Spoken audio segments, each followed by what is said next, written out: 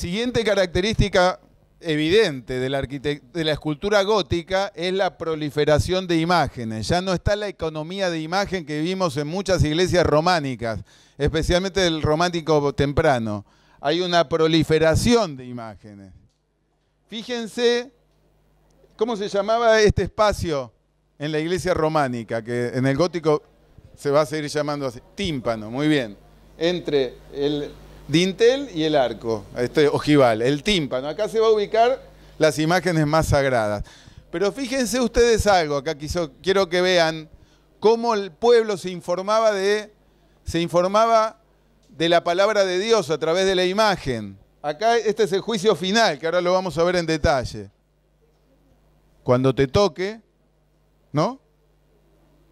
Acá ya estás viendo un preview de lo que te va a pasar cuando llegue el juicio final.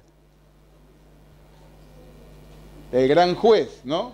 De un lado los que se salvan, del otro lado los que van al infierno.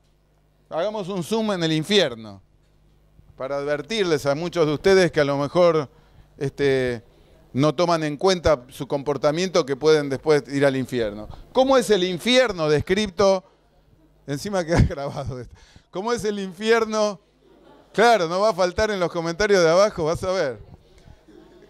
¿Cómo era el infierno eh, gótico? Era más natural, estaba el lenguaje de la sensibilidad presente. No era un infierno abstracto como el románico, un infierno que te está quemando ahí adentro de un caldero.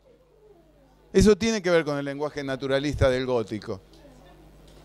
¿Ve que está un caldero ahí quemándose? No es una cuestión abstracta el infierno, es bien de carne y hueso. Y fíjense cómo se llamaban estos arcos superpuestos. Arquivoltas, ¿no es cierto? También tenemos toda una serie de personajes que conforman la corte celestial.